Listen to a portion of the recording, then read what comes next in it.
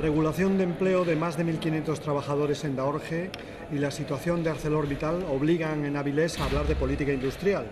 hablar de la falta de política industrial por parte del Gobierno central, por parte del Partido Socialista, que todavía a estas alturas, después de siete años, ha sido incapaz de aprobar un plan industrial para 2020 comprometido por el Gobierno y por otra parte la dejación también de política industrial por parte de la alternativa, teóricamente, que es el Partido Popular. Lo cierto es que coinciden también, como en otras políticas, en aquello de que la política industrial, la mejor política industrial, es la que no existe. Nosotros, al contrario, pensamos que la política industrial es esencial, que hay que tener sectores industriales importantes en los que se apliquen políticas también de creación de empleo, que hay que también favorecer que las empresas multinacionales como ArcelorMittal no se vayan con el pan y con la limosna, que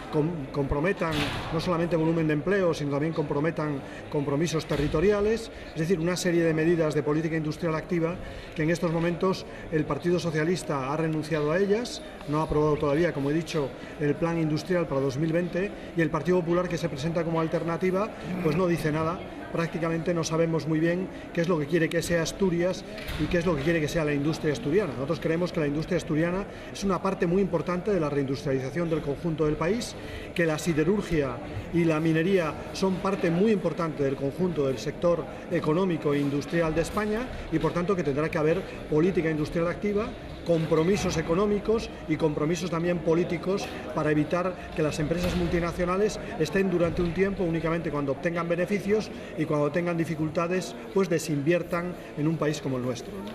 Y luego por otro lado, también en esta campaña electoral hoy toca hablar de la gran olvidada de la crisis, que es eh, que la crisis tiene rostro de mujer. Lo tiene en Asturias, lo tiene a nivel del Estado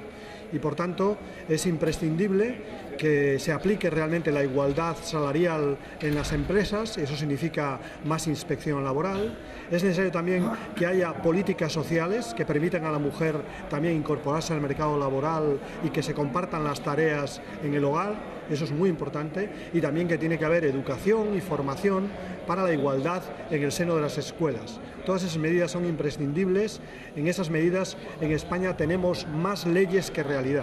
Tenemos leyes muy igualitarias, pero la realidad es que las mujeres ganan un 20 o un 30% menos en las empresas y la realidad es que las mujeres tienen la mayor parte de la tarea del hogar, es decir, tienen un doble trabajo, el trabajo del hogar y el trabajo que realizan en las empresas. Creo que eso es muy importante y hay que volver a denunciar que la crisis tiene rostro de mujer y que no se puede discriminar aún más a la mujer ante la crisis.